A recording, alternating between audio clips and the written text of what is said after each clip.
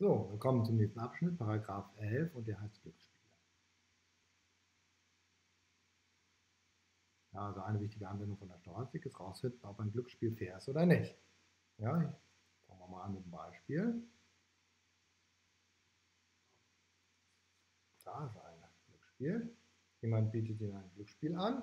Man würfelt mit zwei Würfeln, hier sind welche. Dann ist die Summe der Augenzahlen gerade, so wie hier jetzt. So gewinnen Sie so viel Euro, wie Sie gewürfelt haben, also 12 in diesem Fall. Ist die Augenzahl ungerade, so verlieren Sie so viel Euro, wie Sie gewürfelt haben. Also wenn ich jetzt zum Beispiel 9 gewürfelt hätte, ähm, dann würde ich 9 Euro verlieren. Ist das Spiel fair? Ja, so mal gucken, ob das fair ist. Also überlegen wir mal Lösungen.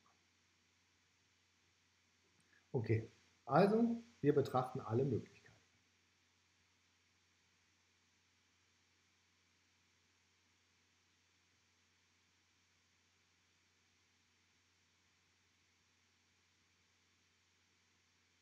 Okay, also wie viele Möglichkeiten gibt es? Na, der erste Würfel kann sechs Möglichkeiten haben und der zweite Würfel kann auch sechs Möglichkeiten haben. Ich mache mal so eine große Tabelle. So, also eins, zwei, drei, vier, fünf, sechs. Eins, zwei, drei, vier, fünf und sechs. Ja, hier ist der Würfel 1. 6 und hier ist der zweite Würfel. 1, 2, 3, 4, 5, 6. Also hier zweiter Würfel, erster Würfel. So, und jetzt überlegen wir, was passiert. Ja? Wenn ich also zweimal eine 1 würfel, dann habe ich eine 2, das ist eine gerade Zahl. Also die geraden Zahlen, die sind gut, da gewinnen wir. Also kriegt man hier 2 plus. Ja? Wenn es jetzt 2 und 1 wäre 3, das ist ungerade, Ungerade ist schlecht, da verlieren wir. Ja, also kriege ich hier minus 3. Und ähm, dann kommt plus 4, minus 5,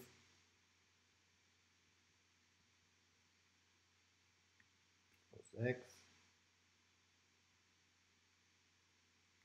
dann minus 7.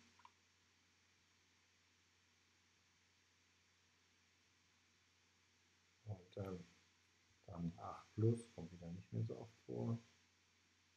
Äh, 9 minus.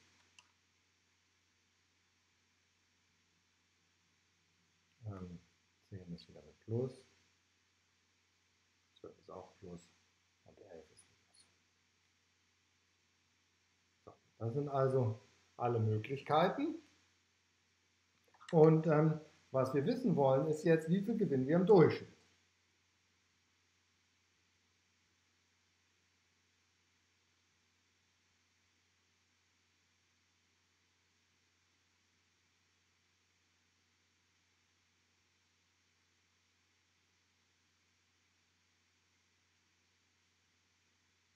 Ja, alle diese Sachen sind gleich wahrscheinlich. Das ist ein Laplace-Raum. Also können wir den Durchschnitt ausrechnen. Dann wissen wir, wenn das positiv ist, ist es gut für uns. Bei 0 ist es fair. Und ähm, bei Minus ist es schlecht für uns. So, also, wie rechnen wir das aus? Ich mache hier mal so ein bisschen Platz, dass ich die noch sehen kann. So, also, wie viele ähm, Sachen gibt es denn? Also, zunächst mal die 2 zähle ich zusammen. Ja, die sind zweimal da und die zählen plus.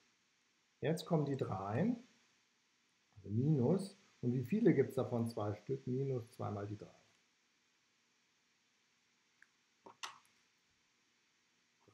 Ja.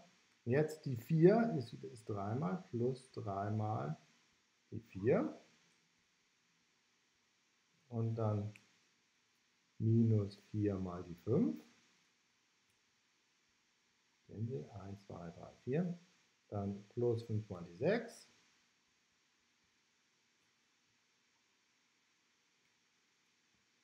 Minus ähm, 6 mal die 7. So, hier sind wir jetzt hier, das, die 7 kommt am meisten vor. Bei der 8 geht es wieder runter, also plus 5 mal die 8. Minus 4 mal die 9. plus 3 mal die 10 minus 2 mal die 11 und plus einmal die 12. So. Gut. Das alles müssen wir zusammenzählen. Und dann teilen wir das durch 36. Ja, das ist dann der Durchschnitt. Ja, okay, rechnen wir mal weiter. Ähm, jetzt machen wir so diesen Trick mit von oben und unten. Hier ist einmal 2 und hier ist einmal 12. Also insgesamt ist es einmal 14. Ja, einmal 14.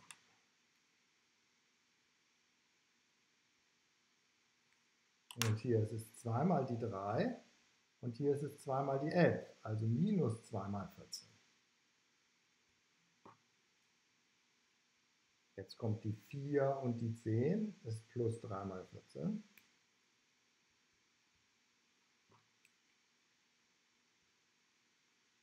Jetzt kommt die 5 und die 9, minus 4 mal die 14.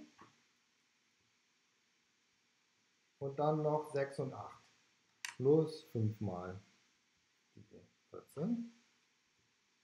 Und die 7 hat keinen Partner mehr, minus 6 mal die 7. Und das Ganze teilen wir durch 36. Okay, das ist ja schon mal bisschen besser. Jetzt können wir die 14 ausklammern. Das ist 14 mal, und jetzt mache ich die Zahlen mit den Farben, also die 1 war gut, die 2 war schlecht, also 2 mal minus, plus 3 mal, minus 4 mal, plus 5 mal 14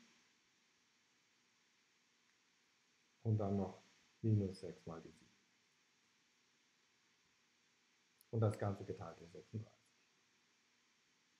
Okay, jetzt können wir das zusammenzählen. 1 plus 3 ist 4, plus 5 ist 9, minus 6 ist 3. Ja, also ist es 14 mal 3, das ist noch gut. Aber dafür muss ich minus 6 mal 7 machen. Und das Ganze durch 36 teilen. So, und jetzt kommt der, rechnen wir auf, 3 mal 14 ist 30, 42.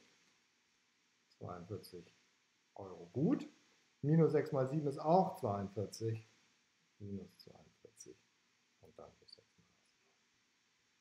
Also, und wenn ich das teile, das ist einfach 0. Also, also